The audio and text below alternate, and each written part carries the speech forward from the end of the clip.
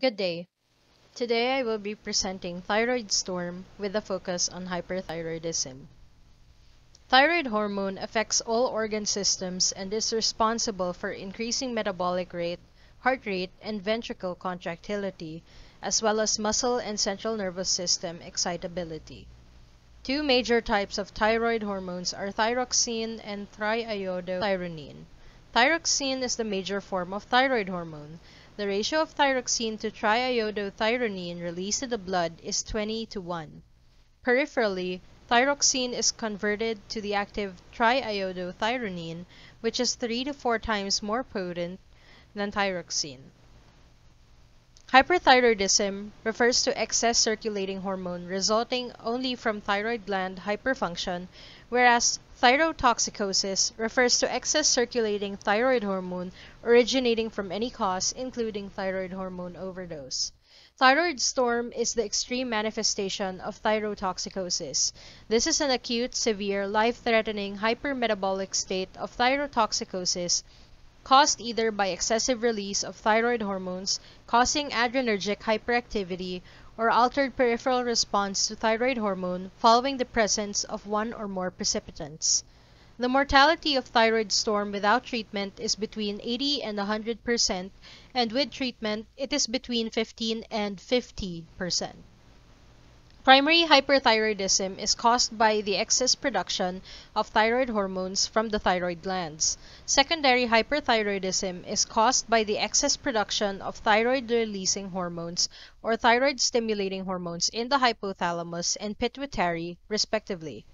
In the case of thyroid storm, the most common underlying cause of hyperthyroidism is Graves' disease.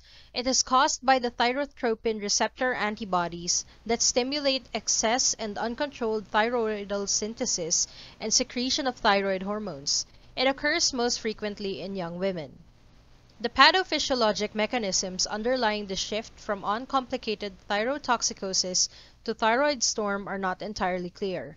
However, they involve adrenergic hyperactivity either by increased release of thyroid hormones with or without increased in synthesis, or increased receptor sensitivity. Many of the signs and symptoms are related to adrenergic hyperactivity. Patients with thyroid storm reportedly have relatively higher levels of free thyroid hormones as opposed to those with uncomplicated thyrotoxicosis. The total thyroid hormone level may or may not be increased in these patients. When there is excess of thyroid hormones, circulating thyroxine and triiodothyronine are taken into the cytoplasm of cells. Thyroxine is converted to its active form, triiodothyronine. Within the cytoplasm, the triiodothyronine then exerts its effect by passing into the nucleus and binding to thyroid hormone receptors or thyroid hormone responsive elements to induce gene activation and transcription. The receptors receiving the hormone will stimulate changes specific to the tissue.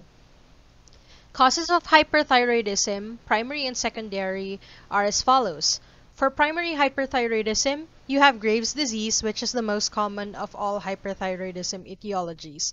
It is associated with diffuse goiter, ophthalmopathy, and local dermopathy.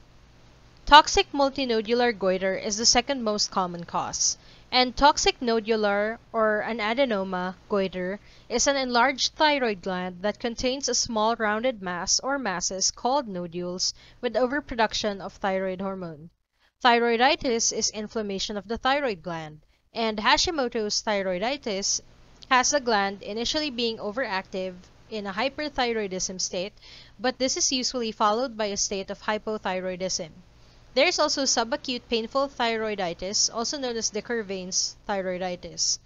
There is also subacute painless thyroiditis and radiation thyroiditis. Secondary hyperthyroidism which is due to causes in the pituitary or the hypothalamus, include thyrotropin-secreting pituitary adenoma. The thyroid gland is stimulated to produce hormones. In the pituitary gland, thyroid hormones exert negative regulation on the transcription of the genes for the subunit and the common subunit of thyroid-stimulating hormone, resulting in thyroid-stimulating hormone suppression. During thyroid storm, precipitants such as infection, stress, Myocardial infarction or trauma will multiply the effect of thyroid hormones by freeing thyroid hormones from their binding sites or increasing receptor sensitivity. The precipitants of thyroid storm will be discussed later. In some patients undergoing radioactive iodine therapy for hyperthyroidism, thyroid storm may ironically occur following treatment due to withdrawal of antithyroid drugs, release of thyroid hormones from damaged thyroid follicles, or the effect of radioactive iodine itself.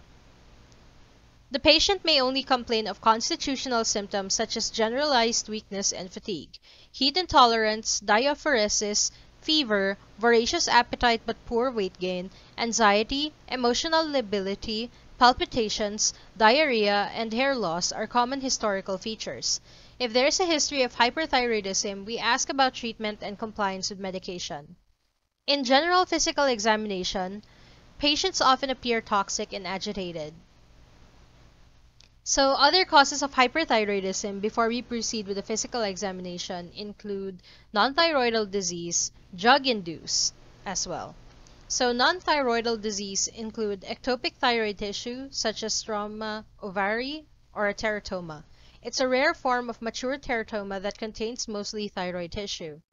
Metastatic thyroid cancer stimulates production of thyroid hormones, and human chorionic gonadotropin is secreted by a hydatidiform mole. Drug-induced causes of hyperthyroidism include iodine. There is iodine-induced thyrotoxicosis, which is also called Jod-Basedow disease, and after treatment of endemic goiter patients with iodine or stimulation of thyroid hormones from use of iodine-containing agents such as radiographic contrast agents, this may occur. Amiodarone contains iodine, which may cause either thyrotoxicosis or hypothyroidism. Alpha interferon and interleukin-2 may also cause hyperthyroidism because during treatment for other diseases such as viral hepatitis and human immunodeficiency virus, these two may also cause hyperthyroidism. Thyrotoxicosis factitia is Munchausen-like, so thyroid hormone is taken by patient to fake illness. Ingestion of meat containing beef thyroid tissue can also cause hyperthyroidism since cow thyroid tissue contains thyroid hormones. And excessive thyroid hormone ingestion Precipitants of thyroid storm include systemic insults such as infection, trauma, and general surgery, endocrinal insults such as diabetic ketoacidosis and hyperosmolar coma, drug or hormone related such as withdrawal of antithyroid medication, iodine administration, thyroid gland palpation, or ingestion of thyroid hormone. Cardiovascular insult may also precipitate thyroid storm, such as myocardial infarction, cerebrovascular accidents, and pulmonary embolism. Obstetrics related include parturition and eclampsia, and radioactive iodine therapy is also a precipitant of thyroid storm.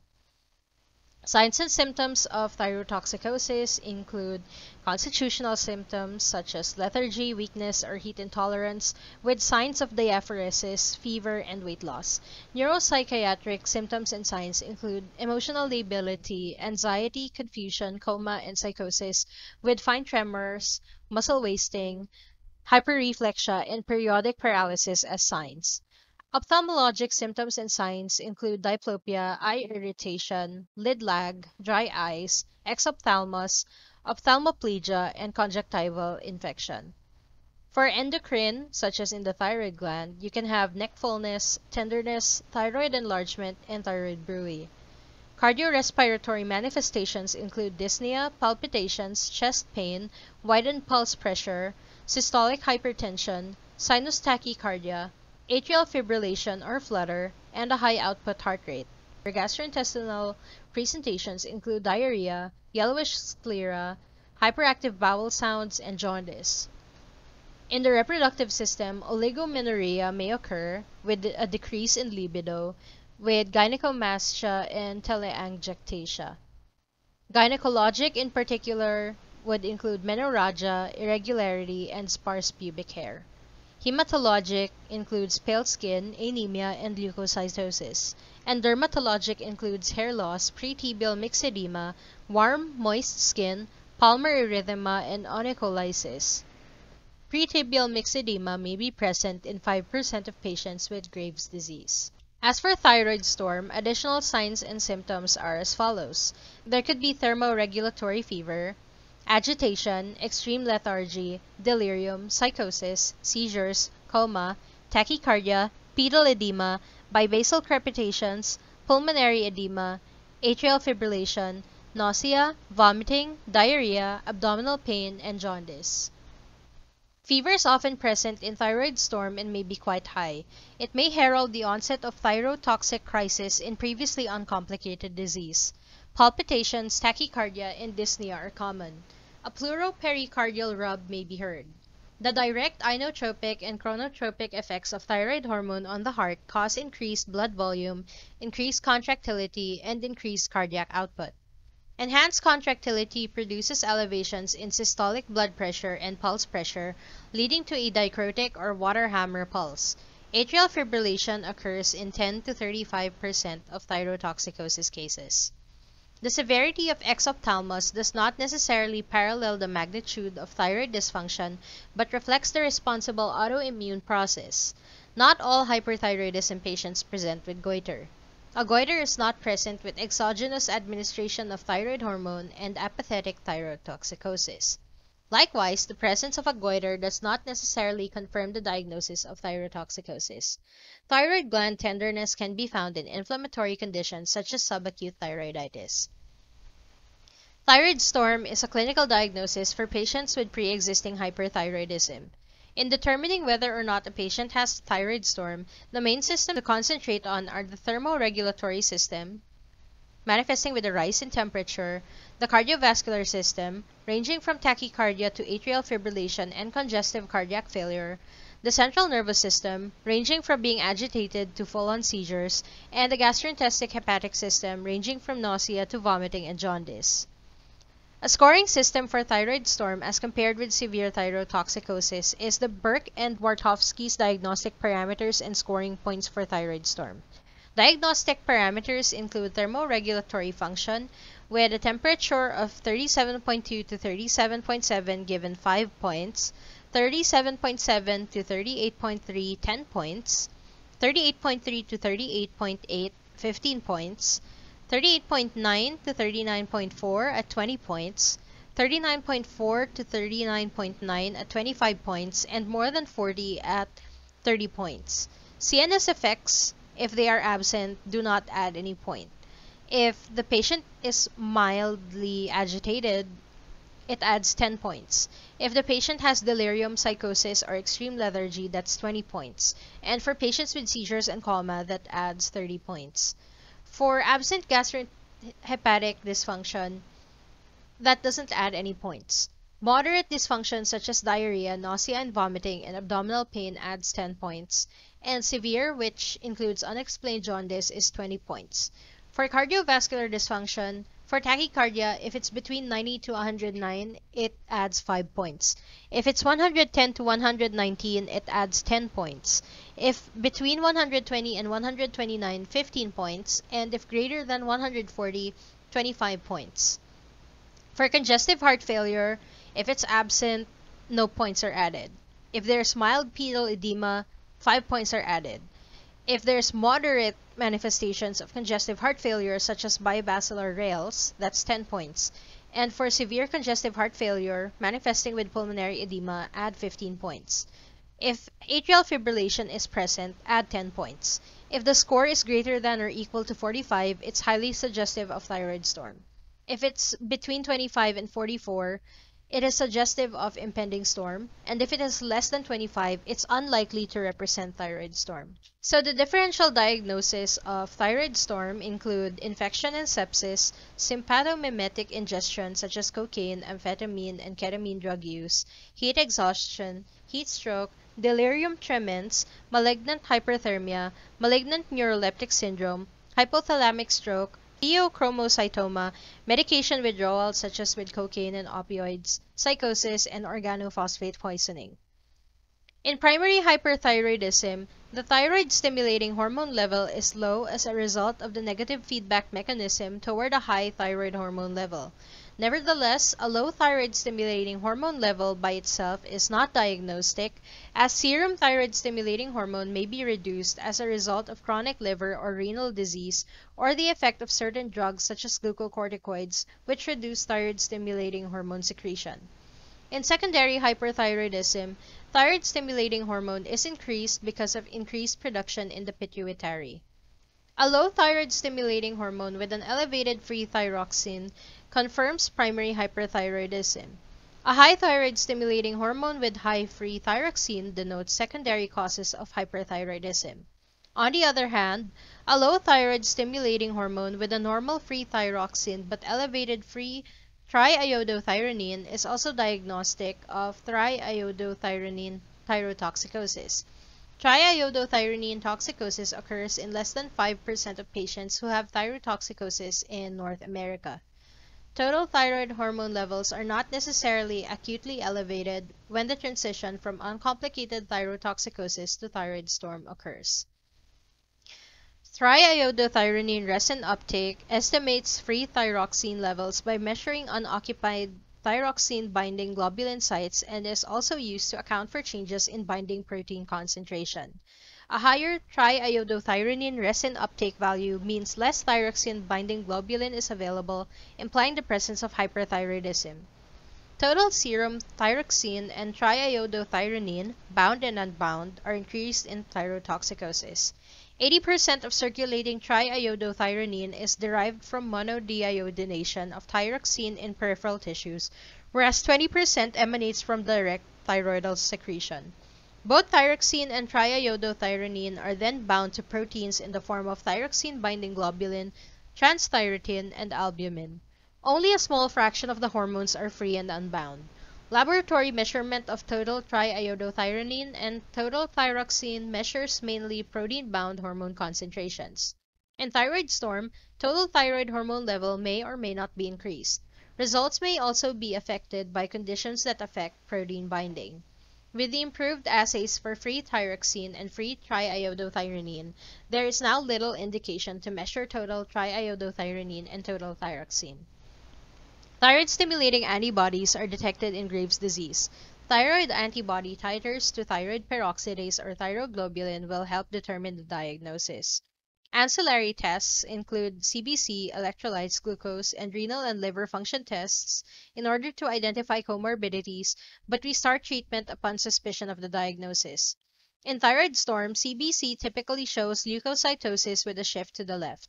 Hyperglycemia tends to occur because of a catecholamine-induced inhibition of insulin release and increased glycogenolysis and rapid intestinal absorption of glucose. Mild hypercalcemia and elevated alkaline phosphatase can occur because of hemoconcentration and enhanced thyroid hormone-stimulated bone resorption. Thyrotoxicosis also induces liver enzyme metabolism, causing raised liver enzymes. A high serum cortisol value is an expected finding in thyrotoxic individuals. This should be the normal reaction of an adrenal gland to a body under stress. The finding of an abnormally low cortisol level in a patient with Graves' disease should raise suspicion of coincidental adrenal insufficiency. Chest radiograph can be done to rule out infection as a precipitant for thyroid storm. A thyroid sonogram with Doppler flow can be done to assess thyroid gland size, vascularity, and the presence of nodules. Typically, a thyroid gland secreting excessive hormones would be enlarged. On the other hand, in the setting of subacute postpartum thyroiditis, silent thyroiditis, or exogenous causes of hyperthyroidism, the thyroid gland is not expected to be enlarged. Nuclear medicine imaging with iodine 131 would reveal a greatly increased uptake of radioiodine as early as one or two hours after administration of the agent. CT of the brain may be necessary to exclude neurologic conditions if the diagnosis is uncertain, as CNS abnormalities causing altered mental status may precipitate thyroid storm.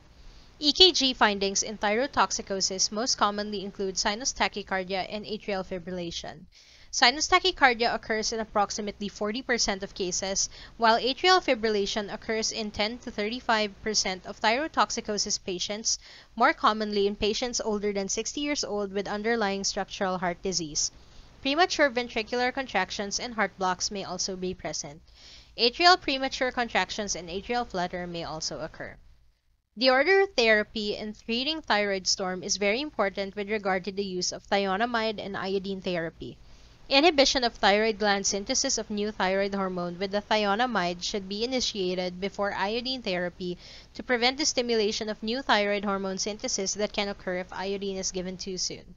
Treatment aims are as follows supportive care, inhibition of new hormone synthesis, inhibition of thyroid hormone release, peripheral beta adrenergic receptor blockade, and preventing peripheral conversion of thyroxine to triiodothyronine. Treatment recommendations are as follows. For supportive care, we give oxygen and cardiac monitoring. For fever, we give external cooling, paracetamol every 4 to 6 hours, and aspirin is contraindicated because it may increase free thyroid hormone. For dehydration, we give intravenous fluids, especially isotonic saline with 5% dextrose if needed to replace glycogen depletion if blood sugar is low. For nutrition, we give glucose, multivitamins, thiamine, and including folate can be considered since it may be deficient secondary to hypermetabolism. Cardiac decompensation, such as atrial fibrillation and congestive heart failure, may be managed through rate control and inotropic agents. Diuretics and sympatholytics may be as required. We inhibit new thyroid hormone synthesis with thionamide such as methimazole 40 mg given per orem as loading dose and followed by 25 mg every 4 hours. The total daily dose should be 120 mg per day. If given per rectum, 40 mg should be crushed in aqueous solution. We avoid methimazole for pregnant women in the first trimester since it can cause teratogenic effects. It can only be used in the second and third trimester of pregnancy. We can also use PTU which can be used for pregnant women in the first trimester. You give a loading dose of 600 to 1000 milligrams per orem, followed by 200 to 250 milligrams every 4 hours. The total daily dose should be 1200 to 1500 milligrams per day. The drug can be given via nasogastric tube or per rectum. PTU also blocks peripheral conversion of thyroxine to triiodothyronine. It has a rare side effect toward liver function, so methimazole is generally preferred as a first-line treatment unless contraindicated. For inhibition of thyroid hormone release, at least one hour after inhibition of new thyroid hormone synthesis with thionamides, we give Lugol solution at 8 to 10 drops per orem every 6 to 8 hours, or potassium iodide 5 drops every 6 hours per orem, or IV iopanoic acid 1 gram every 8 hour for the first 24 hours, then 50 milligrams twice a day, or ipodate 0.5 to 3 grams per day per orem, especially useful with thyroiditis or thyroid hormone overdose, or lithium carbonate if allergic to iodine or agranulocytosis occurs with thionamides, 300 mg per orem every 6 hours for 1,200 mg per day and subsequently to maintain serum lithium at 1 mg per liter.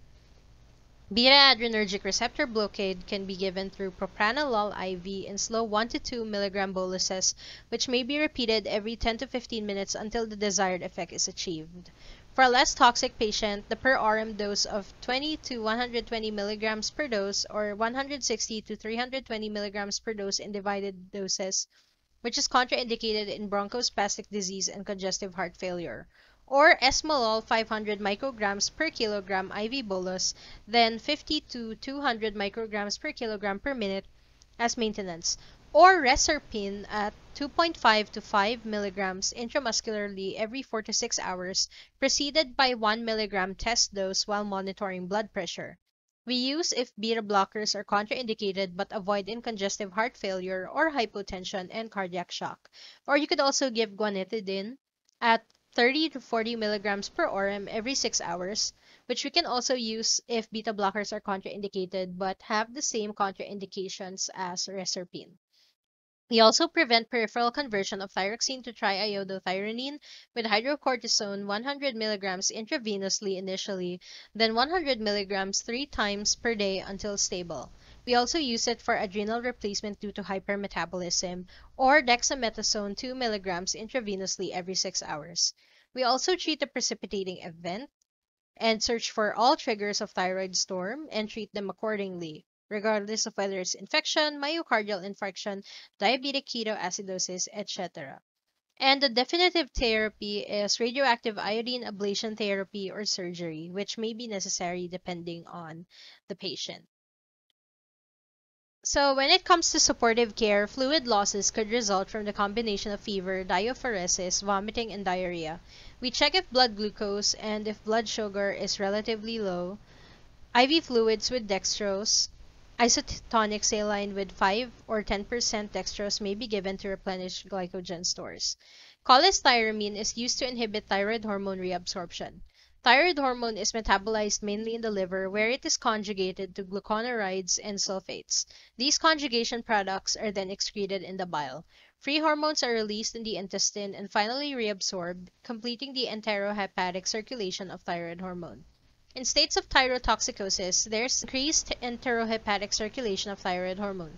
Cholestyramine is an anion exchange resin that decreases absorption of thyroid hormone from the enterohepatic circulation. Cholestyramine in combination with methimazole or propylthiouracil causes a more rapid decline in thyroid hormone levels than standard therapy with thionamides alone. Methimazole has a longer half-life than propylthiouracil, and thionamides in general inhibit synthesis of thyroid hormones by preventing organification and trapping of iodide to iodine and by inhibiting coupling of iodotyrosines. It presents in free form in the serum, that's methimazole, whereas 80 to 90% of propylthiouracil is bound to albumin. When it comes to using iodine to inhibit hormone release, thionamide therapy must be instituted first and these drugs are only given at least one hour later.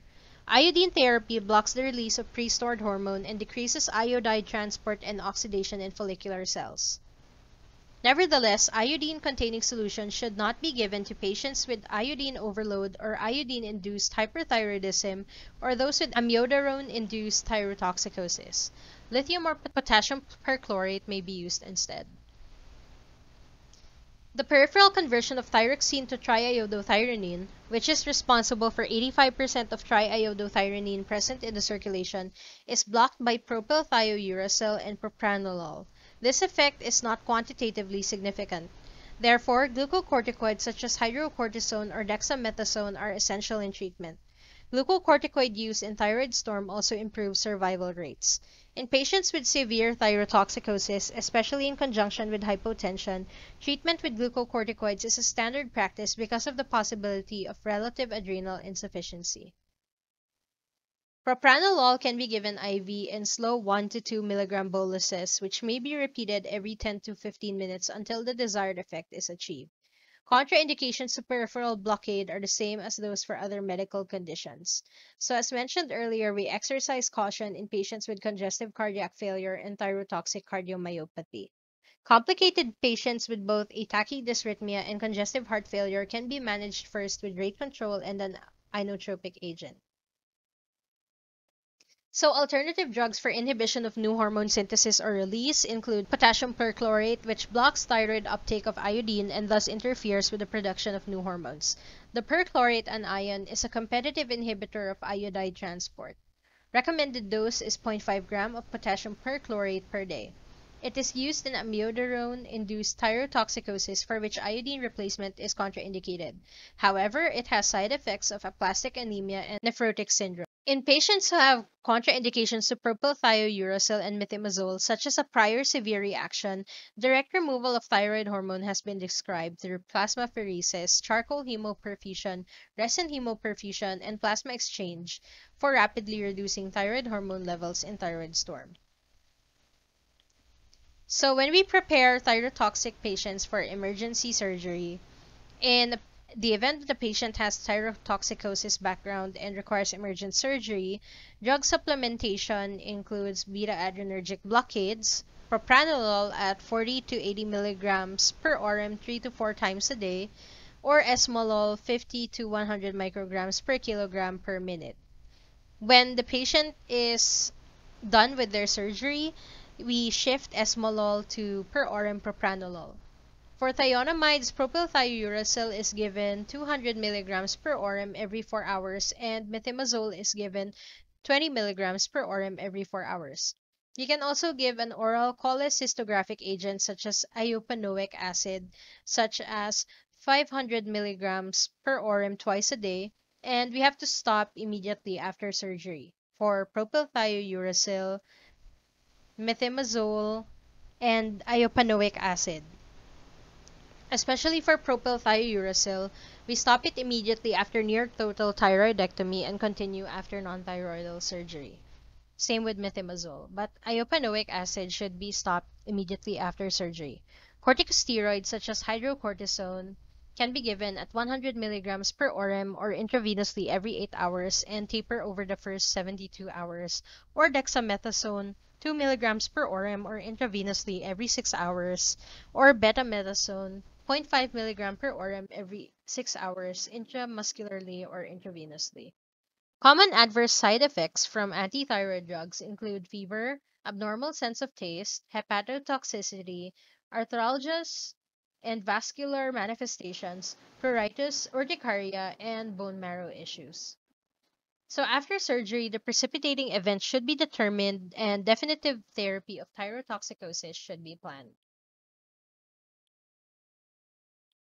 And that's all. Thank you.